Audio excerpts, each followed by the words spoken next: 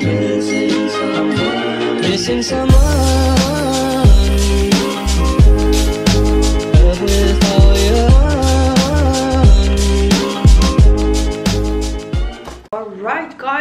Alrighty, righty. Nå har jeg vært på butikken. Jeg har vært på butikken og hentet to pakker, så jeg tenkte jeg skulle vise dere. Jeg så at det var ganske ålreite jordbær på butikken, så jeg måtte kjøpe, selv om jeg skal være borte hele helgen, så det var litt dumt, men... Mm. Ja, vi må spise dem opp i hvis ikke så tar jeg med. Første her er fra Amazon. Nå er ikke jeg verdens ekspert på hvilke klær som er laget på etisk riktig vis og ikke, men jeg bestilte noen tightser fra noe som heter Yo Reo, et merke på Amazon som har veldig bra rating, som er en knockoff av Navigation tightsene. Jeg har bestilt tre tightser. Jeg eh, tenkte at jeg skulle ikke bestille så veldig mange hvis de ikke var så bra allikevel. Men, altså, så førsteinntrykket er jo at de er clean like som de jeg har på meg nå, fra Navigation. Det er contour tightsene. Så de ser sånn her ut. De har sånn her til stumpen, som er veldig fint. Eh, og så har de sånn contour. De her er eh, purple, because I love purple, it's my favorite color. Og jeg tok de her i small, fordi at de navigation tightsene her har jeg ekstra small. Altså, de passer, men jeg setter ikke pris på når de er så stramme her, at jeg får sånn skin rolls, eller back rolls, eller hva jeg skal kalle det. Da føler jeg meg ikke så komfortabel. Jeg vil ha at det skal være romslig, men da bruker jeg mest de tightsene jeg kjøpte fra Navigation. For jeg visste ikke at man skulle gå opp en størrelse. I didn't know that. Men ellers så er de super stretchy og fine, men eh, ja, jeg bare... Hvis jeg skal bestille fra dem igjen, som jeg mest sannsynlig ikke gjør, hvis de her er seriøst helt clean like, så tar jeg i små. En i, jeg vet ikke hva den her het, Hot Pink. Jeg vet ikke. Den ser i hvert fall sånn ut. Er jo seriøst nesten samme greia. Det er litt mer sånn kornete tekstur enn det det er på Navigation sine. Mm, så jeg kjenner jo at det er annerledes materiale og alt sånt der. Jeg kjenner jo at det er jo fader ikke som tightsen, men om det ser litt og føles bra, så er jo dette en mye billigere alternativ. Eller ikke så mye billigere, altså Navigation er ikke så dyrt, men det er et problem at de dropper, for da må man kjappe seg bestiller når man bestiller. Ok, så bestilte jeg den her med en liten scrunch. Den her kunne jeg tatt i ekstra små, tror jeg. Den her føltes litt stor, fordi camo tightser pleier å være litt store i størrelsen, sammen med sånn tie-dye og sånt, som ligner også veldig på Navigation sin, som jeg har i lilla. Så det var det jeg bestilte fra Amazon. Så mine damer og herrer, så har jeg bestilt fra Jerk Avenue. Ja, Eh, to basisplagg, veldig basic, men jeg bare så fitten og hvordan det så ut. Jeg var sånn, jeg må ha det. Jeg bare må ha det, så det er ikke billig akkurat. Jeg tror jeg har betalt over 1000 kroner for to, to overdeler, men det skal tydeligvis være veldig bra kvalitet. Veldig positivt at det kommer en sånn her. Daily t-shirt og daily long sleeve. Og begge tok jeg i small, fordi, sorry ass, jeg har ikke tid til at det her ikke passer når det er så expensive. Så longsleeven ser sånn her ut. Den er eh, long, som betyr at den vil passe veldig bra med low-rise jeans, eller dickies, eller whatever. De som er litt sånn langt nede. Kunne vært litt kortere. Kanskje jeg skulle tatt ekstra small. Altså, den er sånn ribba, bra stoff, og det kjennes veldig bra ut. Og så tok jeg samme bare i t-skjorta, som eh, skal forme veldig Altså, de her skal tydeligvis forme kroppen veldig fint. I hvert fall det er det jeg har sett på de som har det. Har disse plaggene. Hei sann! Jeg er så forferdelig lite i form i dag. Jeg eh, var på en sinnssykt koselig hyttetur i helga hos eh, Hanna sin hytte. Vi feiret bursdagen hennes. Og det var sykt, sykt hyggelig. Jeg aldri hatt, altså det er lenge siden jeg har hatt det så jævlig gøy. Men som en introvert så blir jeg helt ødelagt. Altså vi var 13 jenter. Jeg er veldig avhengig av å være alene for å kunne lade opp. Og det som er, eller kjennetegner en introvert, er jo det at man får dessverre ikke energi av å være med masse mennesker da. At man liksom får ikke lade opp, man er på en måte utlada etter en hyttetur med masse mennesker for eksempel da. Og sånn som er dessverre jævla kjipt, fordi jeg har jo ikke lyst til å bli sliten av å være med vennene mine. Men uh, det er dessverre bare sånn det er. Jeg får ikke gjort noe med det. Det er bare sånn jeg er, og sånn jeg fungerer. Og jeg vil bare snakke litt om det, fordi jeg føler det er veldig få som snakker om det å være introvert, og hvor på en måte kjipt det er. Fordi det er jo ikke sånn at vi eh, har lyst til å da være på en jentekveld, og så kommer man hjem, og så er man helt utkjørt. Så det er derfor jeg har veldig mange mandager som er veldig sånn tunge, fordi, og veldig slitsomme. Fordi jeg har ikke, altså en søndag for meg har ikke vært nok på lade opp. Skulle ønske jeg hadde masse energi hele tiden, og, og jeg har jo også den der eh, fyllesyke greia mi, at eh, jeg får så veldig angst dagen etterpå. Det er jo en naturlig forklaring. Det er fordi at et eller annet med at alkohol stopper produksjonen av dopamin, og som da dagen derpå så må man bruke alle kreftene sine på å lage nytt dopamin, fylle opp kroppen igjen, og det er jævlig mye greier. Så derfor bruker jeg lang tid på mandag, eller lang tid på å komme meg igjen etter sånne lange ting, sånn, sånn som en festival, eller, og nå er det jo festival eh, snart.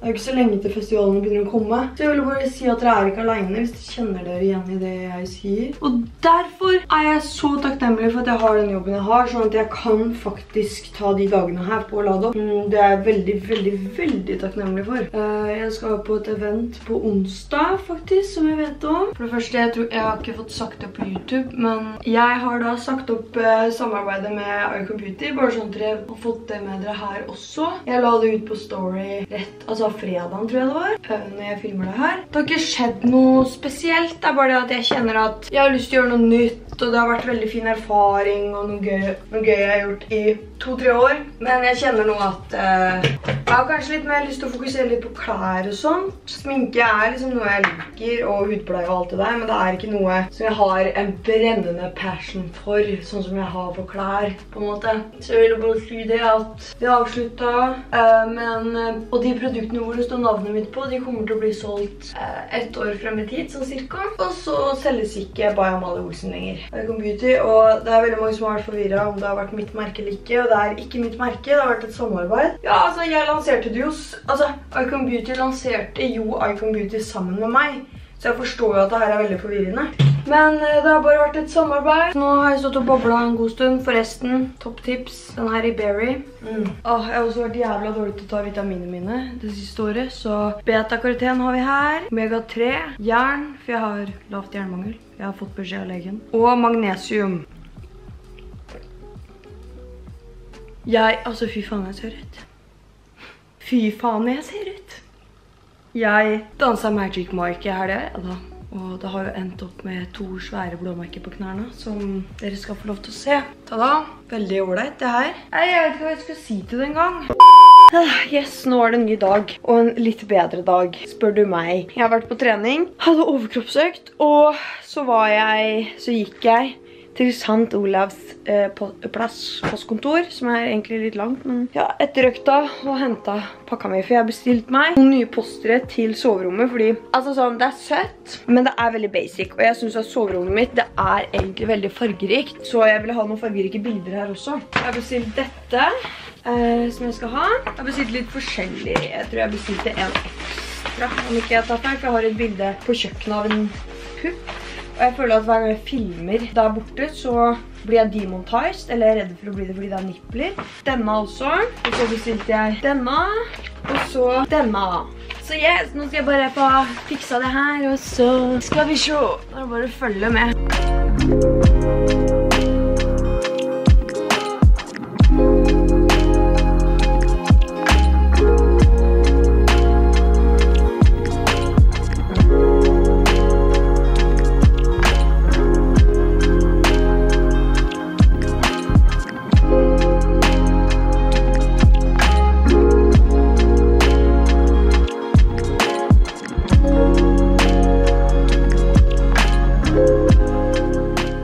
Ikke hvor bra det her ser ut med svarte rammer, for det var det jeg hadde fra før. Så jeg får eventuelt se om jeg skal bytte det ut med sånn trerammer. Men bildene ser i hvert fall jævlig ålreit ut, og det passer veldig bra med sengetøyet mitt. Lysa i vinduskarmen er veldig sånn fargerikt, og alle klærne mine er fargerike og sånt. Og så hang jeg den der. Eh, Jeg vet at Hanna har den. Hun har kanskje den også i stor, for de passer egentlig veldig bra sammen. Men tenkte å splitte det opp litt. Sånn ser det ut. Veldig fornøyd. Da ble det litt mer fargerikt her. Så hang jeg det bildet her. Det også var ikke så veldig fint med sånn svart ramme, men det får bare være. Men det matcher jo litt med det der.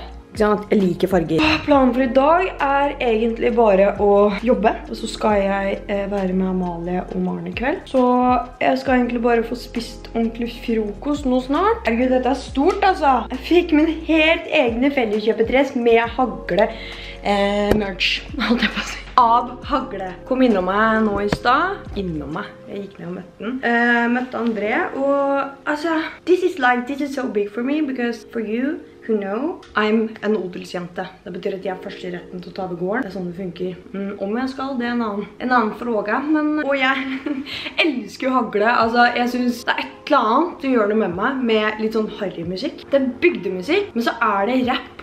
Og det er moderne, og jeg bare elsker det. det er liksom, hver gang de kommer ut med en ny sang, så er det rett i lista. Se på haglelogoen! Så er det felles kjøpedress. Det her er så stort for meg. Og jeg, jeg elsker. Og så skal jeg lage middag etter hvert. Jeg tenkte å lage sommerruller med scampi. Fordi jeg fikk bare plutselig lyst på det. Og prøve å lage en eller annen peanøttsaus, eller dip, eller hva det kalles. Ok, nå er klokka ti på ni på morgenen. Jeg sov hos Amalie i natt, så jeg har sovet hos hun to ganger denne uka her. Så da har Snusken fått prøve seg på å være hjemme alene på natta, og det må han jo bare lære seg uansett, altså sånn han er. For faen, nå har jeg glemt bursdagen hans igjen! Han skulle jo ha bursdag! Åh, fy faen, ja. Da er det bursdagen til Snusken i dag. Helvete, altså. Han har jo bursdag egentlig 1. mai, tror jeg. Eller nei, jeg tror ikke jeg bare bestemte, for jeg vet ikke når han ble født. Fordi han ble født på låven når jeg var 12 år, and I don't remember which date it was, and we don't know, because we found the kittens several days after the birth. Han vet jo ikke hvem dag det er uansett, så det er jo liksom for for han. Men jeg skal i hvert fall på trening nå. Så jeg har på en hettegenser, og så har jeg på en Butter Goods t-skjorte under, og så har jeg på joggebukse, og så har jeg på en shorts under. Så det her er bare sånn jeg ser ut når jeg går inn på gymmet, fordi det er kaldt ute. Skal i hvert fall beile til trening nå. Har leg day. Egentlig byttet på litt å bruke Aurora sine økter og Hege sine, fordi eh, noen ganger så, jeg blir bare så lei noen ganger av å følge samme av følge samme programmet hver uke. Jeg vet at det er veldig lurt å følge et program sånn åtte uker i hvert fall. Jeg er ikke så nøye på det egentlig. Noen ganger så bare bytter jeg, fordi it's basically de samme øvelsene. Nei, ja, det er samme muskelgruppe bare. Så i dag så skal jeg gjøre Aurora sitt. Vi tar i hvert fall Aurora sitt i dag, er det, og vi åker den inn.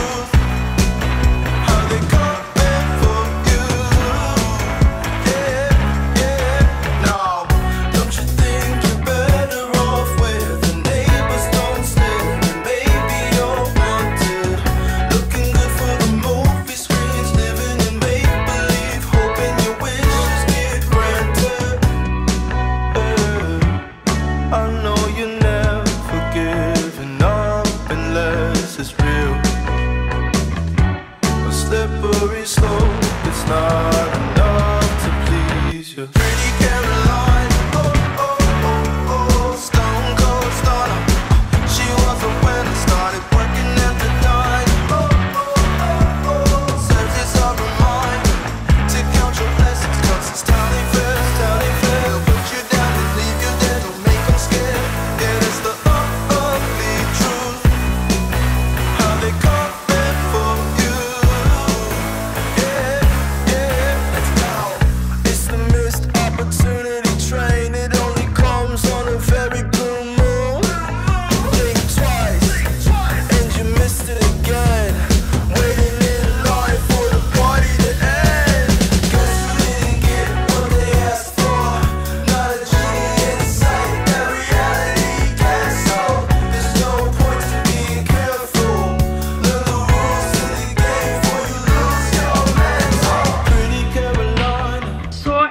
shoppa også litt på Sephora her om dagen. Tenkte å bare vise dere hva jeg har kjøpt. Jeg kjøper egentlig aldri sminke, det er veldig sjelden. Så hvis jeg kjøper det, så er det fordi det er noe som går total viral, og jeg er sånn, oh my god, I gotta test it out. Eller så må jeg refille ting jeg har fra før. Det første er, det, det var egentlig derfor jeg stakk innom. Det er den her Tarte Juicy Lip lipglossen som jeg tok i Coconut. Jeg trodde jeg bestilte en plumping og en vanlig, men det her er i hvert fall den vanlige, tror jeg. Det er en lipgloss i leppestiftform. Jeg trodde den her skulle være litt lysere, ja, men så bestilte jeg meg bare en ny av Olaplex sånn bonding oil, fordi det er tom om sånn en hårvask. Så bestilte jeg The In List. Jeg vet ikke hvordan man sier det. The Inky List. Inky.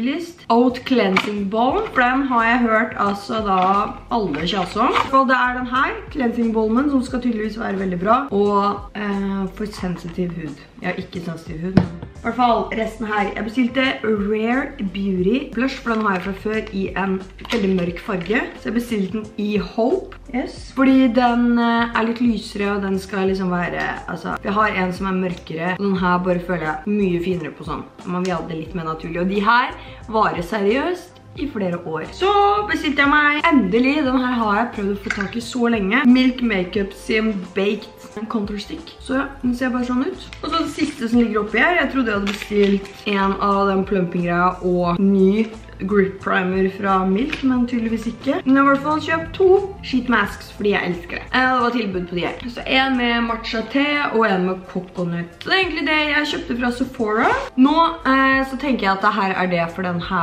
vloggen. Så jeg håper dere likte den. Legg ned en til Bye!